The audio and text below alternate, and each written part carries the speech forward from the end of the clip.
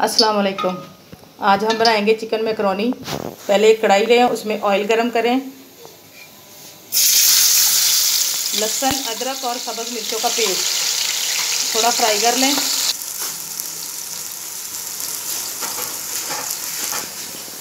अब हम इसमें ये डालेंगे चिकन क्यूब्स, कटिंग किया बोनलेस चिकन।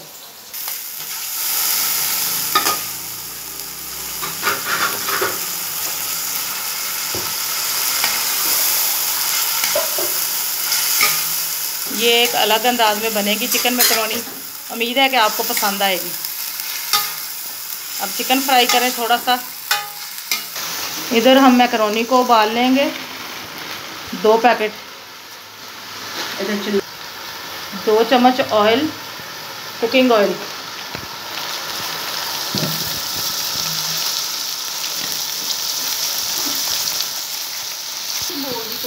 और दो चम्मच नमक डाल लें। जिससे कि ये बॉयल अच्छी हो जाएँगी और अलग अलग रहेंगी, जुड़ेंगी नहीं आपस में। ये चिकन फ्राई हो रहा है, अब इसने पानी छोड़ दिया। जब इसका पानी खुशक हो जाए और अच्छी तरह चिकन गल जाए तो फिर हम बाकी इसका बताएँगे क्या करना है। जब हमारा चिकन फ्राई हो जाएगा, फिर हम इसमें डालेंगे टमाटो केचप काली मिर्च, सफ़ेद ज़ीरा, नमक और गरम मसाला, और दो टमाटर क्यूब्स में कटिंग करके इसके बीज हमने निकाल दिए। अब हम इसमें बाकी मसाला जार डाल देंगे। काली मिर्च, ज़ीरा पाउडर, गरम मसाला और नमक। अगर आपको इसमें नमक मिर्च कम लगे तो आप वाइट पेपर थोड़ी सी शामिल कर सकते हैं। एक टीस्पून या हाफ़ टी स्पून अपने हिसाब से मसाले रखें।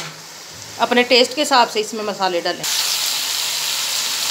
अब हम इसमें डालेंगे टमाटर और मैकरोनी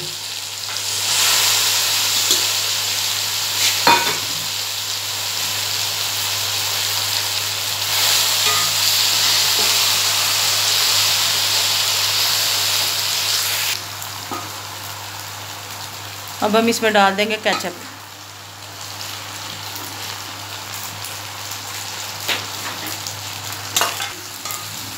केचप डालकर हम इसे पाँच दस मिनट के लिए दम पे रख देंगे। इसके बाद हम इसे डिश आउट करेंगे। ये हमारी चिकन मैकरोनी तैयार है। आप वेजिटेबल मैकरोनी भी इसी तरह बना सकते हैं। आप भी बनाएँ हमारे तरीके से इन आपको बहुत अच्छी लगेगी। मेरी वीडियो को लाइक करें शेयर करें और सब्सक्राइब करें। अल्लाह हाफिज़।